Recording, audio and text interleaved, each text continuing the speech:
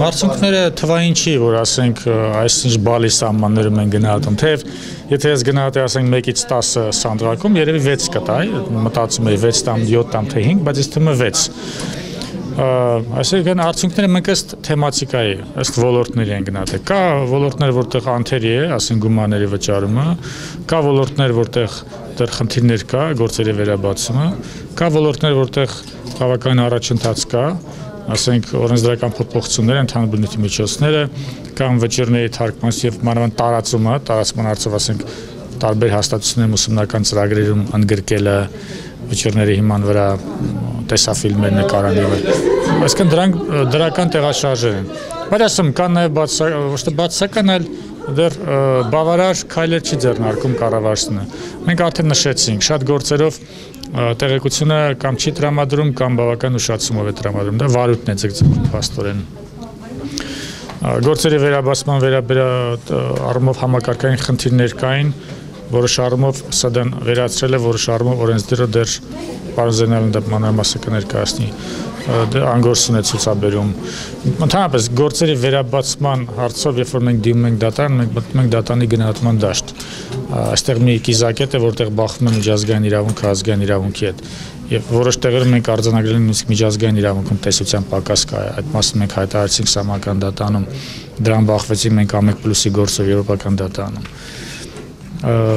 Այսինքն կրկին ես ոչ թե բալերով եմ նշում, այլ ուղղակի պետք է զեկույցը կարդալ եւ տեսնել որ ոլորտում բավարար տեղաշարժեր կան, որում ոչ։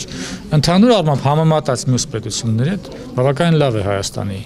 դիրքերը վճիրների կատարման բարդում բավականին գործ արվել է։ Այստեղ ընդհանրապես եվրոպական դատանի վճիրներին լուրջ է մոտենում մեր հանրությունը։ Կան որոշ պետություններ, որոշ հանրություններ, որտեղ այդքան լուրջ չեն մոտենում։ Մենք շփվում ենք մյուս երկրների հետ եւ տեսնում ենք։ Պարոն Զենալյան Վճռումն վճռների կատարման գործում ամենամեծ թերացումը մնում է գործերի վերաբացումը։ Մինչև հիմա ընդամենը 3 գործ է վերաբացվել։ 3-4 գործ է վերաբացվել 40 48-ից։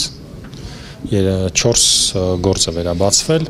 եւ դրանք վերաբացվել են կոնկրետ իրավունքի խախտման զոհերի դիմումների հիման վրա։ Այսինքն պետությունը իր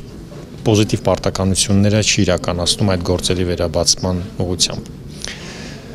Պարոն Ղազարյան ներկայացրեց, որ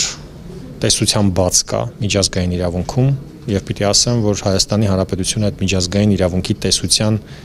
բացի լրացնողներից է եւ մատակարարներից է։ Հայաստանի համանդրական դատարանը այս ոլորտում բավականին մեծ առաջընթաց է արձանագրել ձեր խոնար ծառաների նախաձեռնությամբ։ Այդ առումով մենք ունենք բավականին մեծ ձեռքբերումներ իրավունքի ոլորտում, տեսության ոլորտում բավականին մեծ ձեռքբերումներ ունենք եւ նաեւ մենք շատ մեծ ջանքեր ենք գործադրում այդ տեսությունը պրակտիկայից բխեցնելու եւ հակառակը տեսությունից պրակտիկան բխեցնելու ուղղությամբ գործնականում իրականացնում ենք նաև այդ վճիրների վերաբացման վարույթներ, որովհետեւ կարողանանք կյանքի կոչել եւ դարձնել իրականություն։ Տեսական, վերացական արժեք ներկայացնելուց վերացենք իրական իրական արժեքի։